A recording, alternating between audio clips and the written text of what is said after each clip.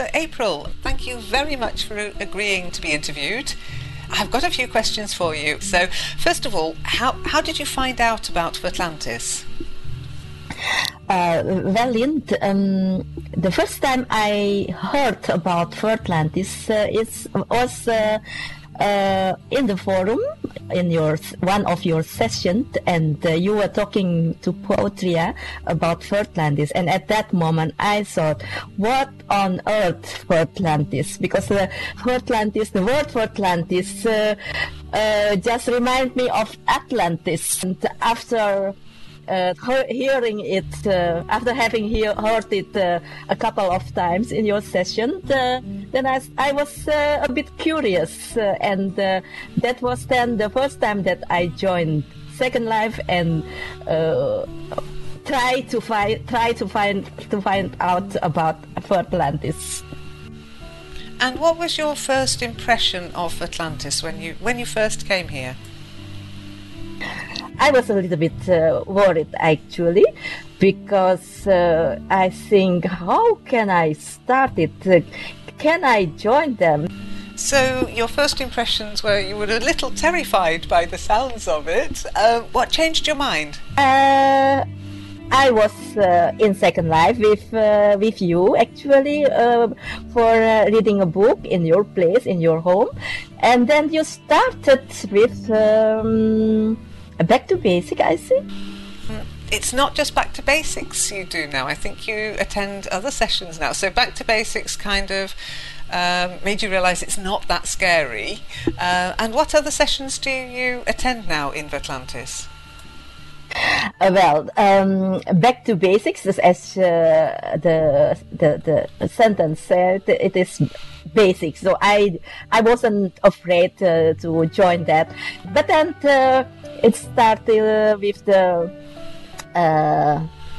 French uh, for beginners. Uh, I think I know a little bit uh, of uh, French, but I don't think I, have uh, I've ever said that. Sorry, I've uh, I've not. I don't speak French enough to join the advance. But then Sam and Jeff started with the French for beginners. So I think, oh, then I can join that. Uh, and that's all. That, but that's why uh, I don't. Um, that was it, it was not because I'm not interested in any other uh, session or any other uh, languages or uh, uh, whatever uh, is organized here. It is just also because lack of time and uh, maybe in the in the next time in the future maybe I will uh, join the, any other uh, session. So, how has learning a language in a virtual environment like this affected your your experience of language learning? Um, that is a difficult question, Lynn.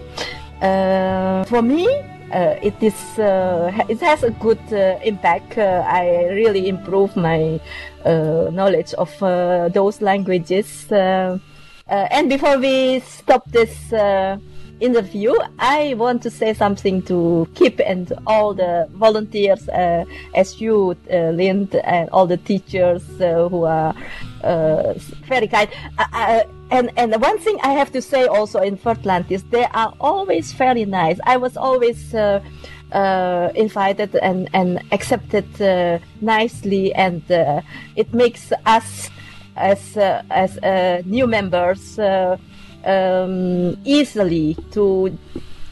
To, to, to cope, to join, yeah, and um, uh, so I want to thank Skip and you know, all of you for uh, all the your efforts uh, to make us uh, more easily to, with our second life. Well, I'd like to thank you for agreeing to be interviewed and for being a participant in the activities here. The activities are here for you guys, and you're the ones that really make it. We just organise it.